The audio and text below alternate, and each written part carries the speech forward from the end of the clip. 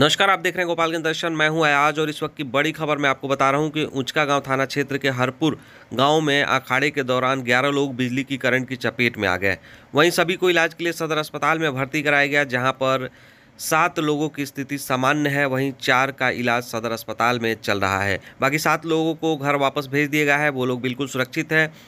इस पूरे मामले की जानकारी मिलते ही गोपालगंज के डीएम डॉक्टर नौल किशोर चौधरी और एसपी स्वर्ण प्रभात खुद सदर अस्पताल के इमरजेंसी वार्ड पहुँच गए हैं। वहाँ पहुंचकर पीड़ितों से पूछताछ कर रहे हैं, वहीं उनकी जानकारी भी ले रहे हैं। डीएम ने बताया कि बिना जानकारी की अखाड़े निकाले गए थे, जो बच्चा लोग था अखाड़े समिति को जानकारी नहीं दिया और अचानक जो है अखाड़ा निकाल दिया, जिसकी वजह से बिजली विभाग को सूचना नहीं थी और बिजली की परवाह हो रही थी इसी दौरान। अखाड़े में गीला बाँस कोई लिया हुआ था जो बिजली की करंट की चपेट में आया गया, जिसमें ग्यारह लोग एक साथ थे। सभी लोगों को झटका लगा, लेकिन सात लोग सुरक्षित बताए जा रहे हैं। वहीं चार लोगों का इलाज सदर अस्पताल में चल रहा है। इस पूरी घटनाक्रम का डीएम ने खुद जायजा लिया है। एसपी भी पहुँचे हुए थे और उन्होंने साफ़ तौर पे कहा है कि सभी लोगों से अपील है कि शांतिपूर्ण पर्व को मनाए, किसी तरह का कोई बड़ी बात नहीं है, सब कुछ स्थिति सामान्य है। सुनिए क्या कुछ डीएम बता रहे हैं। हादसा हरपुर गाँव है, उसका गाँव प्रखंड में। वहीं घटना है।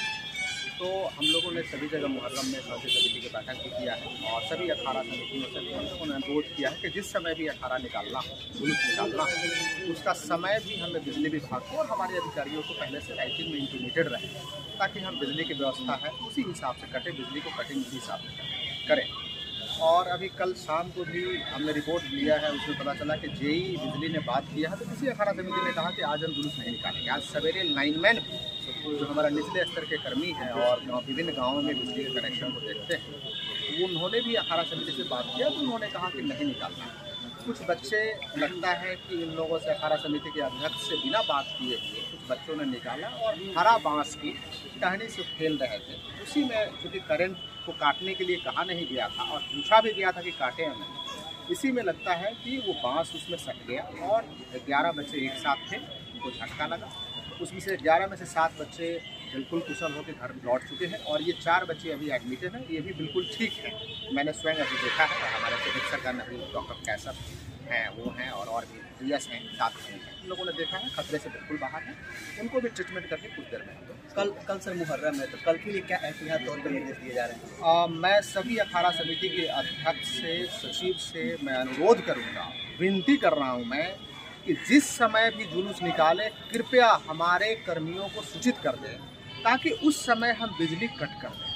ताकि इस ऐसी घटनाओं को हम रोक सकें। दूसरा कि हम अलर्टनेस भी हम अपना उस समय बढ़ा देते हैं। हम लोग हाई अलर्ट पे चल रहे हैं। लेकिन जो जो समय होगा हम लोग और भी अलर्ट उस समय में रह जाएँगे।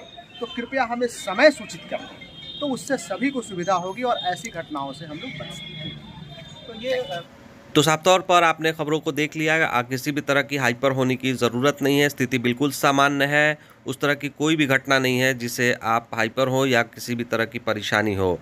साफ़ तौर पर डीएम को द्वारा अपील किया गया कि शांतिपूर्ण सभी लोग अपने पर्व को मनाएँ। अगर आप हमारा चैनल यूट्यूब पर देख रहे हो तो सब्सक्राइब ज़रूर कर लीजिएगा फेसबुक पर देख रहे हो तो शेयर कमेंट और लाइक ज़रूर करिएगा और हमें मदद करिए शेयर करके ताकि हम निरंतर आपको खबरें दिखाते रहें।